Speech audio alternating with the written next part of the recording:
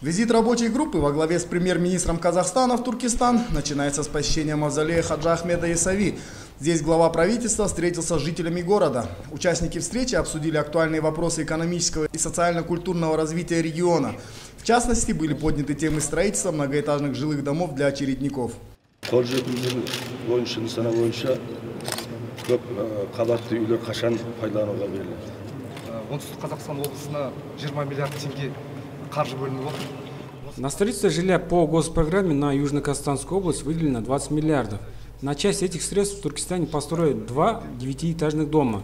В этом году будут сданы жильцам 262 квартиры, еще 86 сдадут в следующем году. В Акимате планируют частично решить проблему за счет нового микрорайона Отрар. қабат алты пәтерлі үй осы жылы беріледі Жители Туркестана воспользовались приездом высоких гостей и задали не менее важный вопрос. Что будет с газификацией района? енді осы түркістанның қалған үйлері түркістан бүтіндей қашан газбен қамтылады деген осы біздің сұрағымыз тиісті құжаттарды дайындап жатыр екі шрп салынды өздеріңіз білесіздер Газификация Туркестана началась в 2014 году с вводом в эксплуатацию в первую очередь магистрального трубопровода Бейней-Базой-Шимкент.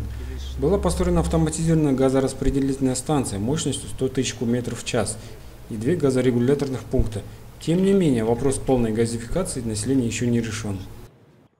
Также была затронута тема перспективы развития историко-культурного туризма в рамках концепции «Коннект Туркестан». В следующем году на территории Мавзолея начнется консервация и реставрационные работы. Как известно, Туркестан – один из древнейших городов Казахстана. Сегодня город – крупный промышленный, образовательный и культурный центр, центр отечественного и зарубежного туризма, а также крупный региональный центр торговли.